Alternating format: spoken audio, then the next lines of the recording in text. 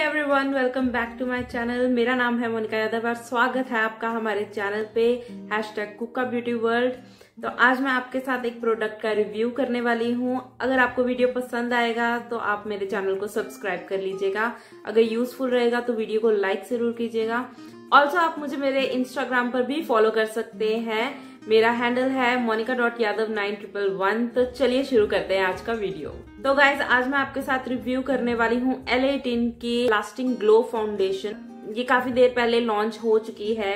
ये मेरे पास शेड है कोरल और कोरल शेड में मैंने बहुत सारी वीडियो सर्च की, लेकिन किसी ने भी कोरल शेड का रिव्यू नहीं किया हुआ था। ये चार शेड्स में अवेलेबल है pearl marble shell and coral तीनों शेड्स uh, के रिव्यू भी देखे बट कोरल शेड का रिव्यू किसी ने भी नहीं किया था जबकि ये सबसे डार्केस्ट शेड है क्योंकि मुझे लग रहा था जो सबसे डार्क शेड होगा वही मेरी स्किन टोन के साथ सूट करेगा। तो मैंने स्पेशली ये कोरल शेड ऑनलाइन ऑर्डर किया बहुत सारी मार्केट्स में भी पता किया मुझे कहीं भी कोरल शेड नहीं मिला सिर्फ़ शेल शेड तक मिल रहा था। तो फाइनली मैंने ये कोरल शेड अपने लिए मंगवा लिया है। तो सबसे पहले बात कर लेते हैं इसकी पैकेजिंग की। ये एक ग्लास बॉटल है। आप जैसे लैक्मे का बॉटल आता है, उतना ही ये मेरी, देखिए, हथेली तक आता है।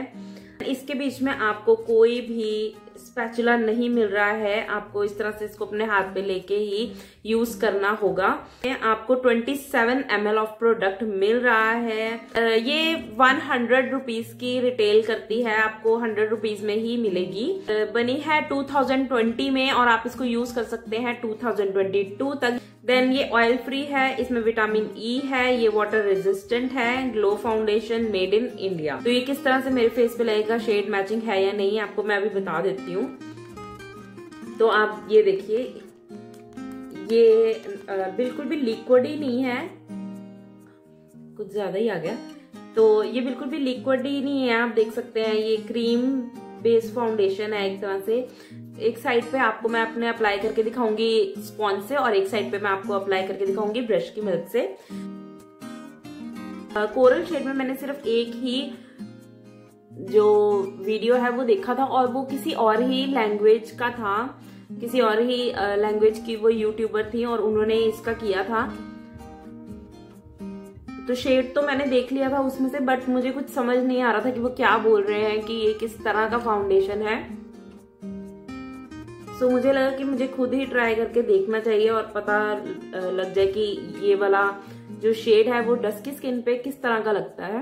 तो ये आप देख सकते हैं ब्लेंड बहुत ही इजीली हुआ है और आप देख लीजिए इसकी कवरेज कितनी है। आपको सेकंड लेयर भी लगानी पड़ेगी ताकि आपके फेस पे कुछ कवरेज नज़र आए क्योंकि अभी आप देख सकते हैं बिल्कुल भी कवरेज नज़र नहीं आ रही है। तो मैं एक और सेकेंड लेयर भी थोड़ा सा करके देख रही हूँ अपने अंडर आइज़ पे। स्पॉन्ज से लगाने में इजिली ये ब्लेंड तो हो रहा है बट स्पॉन्ज से अगर आप लगाएँगे तो बहुत सारा प्रोडक्ट आप जो स्पॉन्ज है वो भी एब्जॉर्ब कर लेता है, इसलिए आपको इतना कवरेज अच्छा नहीं मिलेगा, जिसमें आपको लगे कि आपने फाउंडेशन लगाया ही नहीं है। अगर आपको नेचुरल कवरेज चाहिए तो आप स्पॉन्ज यूज़ कर सकते हैं। तो अब आप देख सकते हैं, दूसरी लेयर लगाने पे थोड़ा सा आपको कवरेज नज़र आएगा मेरे फेस पे। आपको इसे मेकअप रिमूवर से साफ़ करने की ज़रूरत बिल्कुल भी नहीं पड़ेगी। जरा सा आप पानी लगाएँगे और थोड़ा सा मलेंगे तो आपका ये फाउंडेशन बहुत आसानी से निकल जाएगा। जो मेरा स्किन टोन है वो येलो अंडरटोन में है तो इतना अच्छे से मैचिंग नहीं कर रहा है। अगर आपकी स्किन थोड़ा सा पिंक अंडरटोन में है तो आपके साथ ये वाला शेड बहुत अच्छे से जाएगा। इसकी कवरेज ज़्यादा चाहिए तो आपको फाउंडेशन थोड़ा ज़्यादा यूज़ करना पड़ेगा। मैं इसको ब्लेंड करने के लिए यूज़ कर रही हूँ अपना पूना स्टोर का बफिंग ब्रश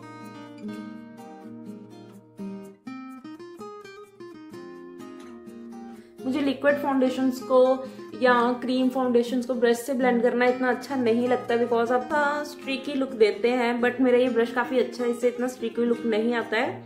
अगर आप इसको इस तरह से बफिंग मशीन में चलाएँगे और आप देख भी सकते हैं कि जिस साइड पे मैंने ब्रश से लगाया है, उधर को कितनी अच्छी कवरेज मिली है। अगर आप स्पॉन्ज से लगा रहे हैं तो आपको एटलीस्ट टू टाइम्स लगाना पड़ेगा, और अगर आप ब्रश से लगा रहे हैं तो आपको इस तरह से कवरेज पहली बार में ही मिल जाएगी। मैं मेबिलिन में 330 शेड यूज़ करती हूँ, और एल में मैंने ये शेड यूज़ किया है कोरल तो अगर आपका मेरे जैसा डस्की स्किन टोन है तो आपके साथ ये कोरल शेड जाएगा। तो गाइज़ अगर आप इस फाउंडेशन को ब्रश से लगाएँगे तो ज़्यादा अच्छा कवरेज मिलेगा। अगर आप स्पॉन्ज से लगाएँगे तो इतना अच्छा कवरेज नहीं मिलेगा। कवरेज आपको पता चल ही गया कि किस तरह से आपको मिलेगा अच्छा सा इसके साथ। क्रीम बेस्ड फाउंडेशन है तो मैं इसको सेट ज़रूर करूँगी अपने कॉम्पैक्ट से। आप किसी भी कॉम्पैक्ट से सेट कर सकते हैं। तो मैं आपको सही से बता देती हूँ कि जो फाउंडेशन है, अगर आपकी ऑयली स्किन है तो तो विंटर में आपके लिए अच्छा यूज़ हो जाएगा। मैं भी यहाँ पे अभी विंटर चल रही है, दिसंबर का मंथ है तो आराम से मैं यूज़ कर पा रही हूँ बिकॉज़ यहाँ पे बहुत ज़्यादा ठंड है और मेरी स्किन काफ़ी ज़्यादा ड्राई भी हो जाती है। तो बहुत आराम से मैं इसको यूज़ कर पाती हूँ। ये जो फाउंडेशन है, वो बहुत जल्दी ऑक्सीडाइज होती है, बहुत ज़्यादा देर के लिए आपके फेस पे ये नहीं रहेगी। आपको अच्छा सा प्राइमर भी लगाना पड़ेगा, अगर आपको लगेगा कि ये सात आठ घंटे आपका फाउंडेशन स्टे करेगा तो ऐसा बिल्कुल भी नहीं है। ये दो तीन घंटे के लिए शायद ये स्टे कर जाए। गर्मियों में फाउंडेशन यूज़ करना चाहते हैं और अगर आपका ऑयली स्किन है तो आप बिल्कुल सोच लीजिए कि आप यूज़ नहीं कर पाएँगे, क्योंकि आपके फेस पे ऑयल आएगा स्वेट आएगा और उससे ये पूरा का पूरा फाउंडेशन जो है वो निकल जाएगा। बिगिनर्स के लिए काफ़ी अच्छा है कॉलेज गोइंग गर्ल्स जो कि रोज फाउंडेशन लगाती हैं। थोड़ा सा उनको हल्का सा कवरेज चाहिए। आई थिंक ये वाला फाउंडेशन काफ़ी अच्छा है। ये काफ़ी अफोर्डेबल भी है। हंड्रेड रुपीज़ में चार शेड इसमें अवेलेबल है। आपको अपने फेयर स्किन मीडियम स्किन और डस्की स्किन के लिए भी आपको आराम से इसमें शेड भी मिल जाएँगे। तो आई होप गाइज़ मेरा ये वीडियो आपके लिए यूजफुल रहेगा। अगर यूजफुल रहे तो मेक श्योर मेरे चैनल को सब्सक्राइब कर लीजिएगा। मैं मिलूँगी आपसे अपनी नेक्स्ट वीडियो में। Till then take care bye